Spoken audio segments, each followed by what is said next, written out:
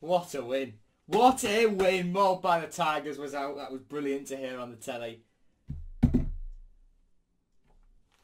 But I'm still disappointed I didn't get any biscuits through the post. Nah, I'm kidding. I'm kidding. Fantastic. Seven unbeaten. Looking good. Feeling good. Yeah, I'm going to try and get myself a bit brighter just by putting my arm there for a bit. Okay, let's see. Uh, let's see how that goes. But yeah, hello everyone. Welcome to my reaction to our 3-1 win over Stoke City.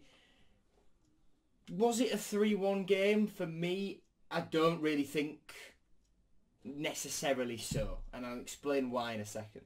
I think we were we were the better team, definitely, and we played really well. Our goals were really, really well crafted.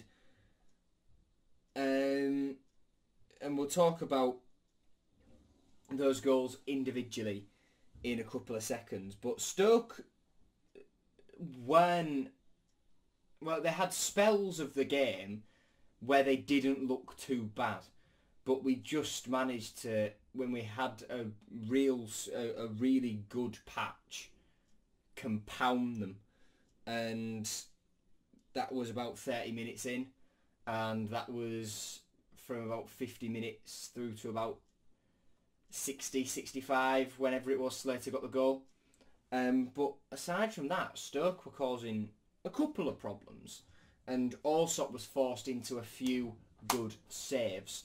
Uh, one from a free kick, one from Wesley at point blank range, and he's proving why he was such a smart addition, especially with the ball forward for the second goal. But we'll talk about the first goal first, obviously.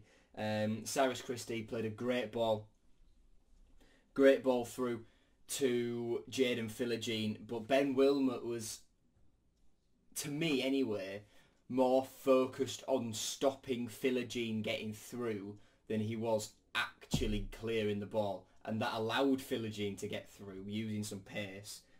Um, and Connolly's finish was remarkable. Just the the audacity and the confidence to do that, right? To do to make it more to put a bit of flair on it. A um, little bit of luck involved as well with it, um, hitting the inside of Michael Rose's leg and then deflecting him. And then straight after that, we we doubled the lead. Traore, uh, let's forget that miss now. To be fair, I, I can say that. I don't think anyone will ever forget it. I don't think Adama will ever forget it. But he's got his goal now, and he scored a more difficult chance. Um, Allsop with a brilliant ball through, was a, with a brilliant ball over the top to Connolly, staying just onside um, to beat Stokes' press. We saw an opening, went for it. Connolly pulled it back across, and I think it took a couple of deflections first before falling to Traore. Boom. On the turn. What a finish. And then the third one after half time, really, really well crafted. It's it's the epitome of what Rosenior wants us to do and keep the ball and get people into shooting spaces. And Slater, great effort, but it was it was definitely going wide, so he can't claim it, and it will go down as a Lynden Gooch own goal. But the deflection looped it into the top corner, and it looked fantastic. But having watched replays and stuff, there is no way that Regan Slater can claim that at all. No way. And then from there on, Stoke uh, got a goal back. Greavesy with a bit of a weak tackle and thinking he was all you know because he was on a booking and didn't want to run the risk of getting sent off. But I think Greavesy misses the next game anyway because I think that's his fifth booking of the season already. Um, booked at Norwich, um, at Blackburn, Bristol City and Leicester as well. That's four. And then obviously the booking today takes him up to five. Yeah. So he he will miss he will miss that game uh, against Plymouth, which is unfortunate, but Sean McLoughlin is he, he, Sean McLoughlin is brilliant. Um, I, I do really like Sean. I think Greavesy is the better defender, but I do I do still really like Sean McLoughlin, and he did really well for us last season and season before when called upon. especially in that three back. Um, well, not well under McCann anyway, but then uh, under Rosenior came in and did really well. And I'm not really sure what what else there is to say. Um, shame for Tyrese Campbell to go off injured again. Nice to see Connolly on the score sheet again. Tyler Morton looked brilliant um, in midfield. Ruben Vinagre had a really good game. Philogene was lively and a goal's coming for him. It definitely is. Um,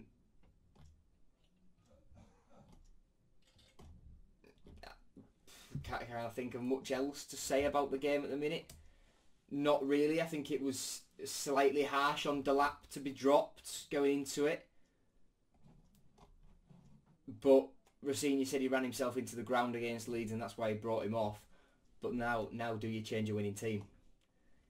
That's the question facing Liam Rosenior. Uh, one thing I will talk about, the club's tracksuit. the player's tracksuit going into the game.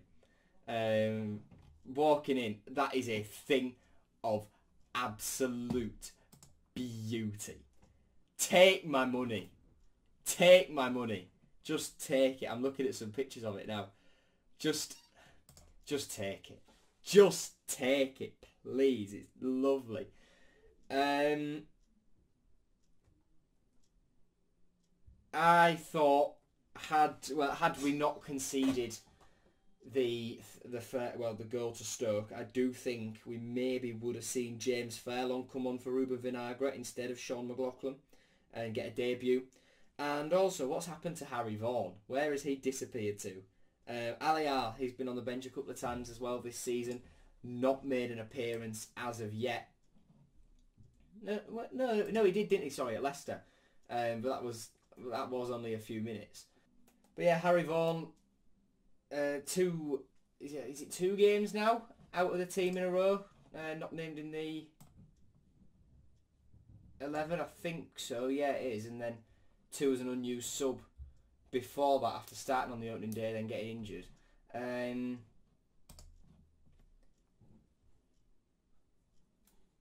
yeah, maybe maybe the rumours of him going out on loan wouldn't have been so bad after all because he has just faded out the team now, and I'm I'm not sure how I feel about it. I love Harry, and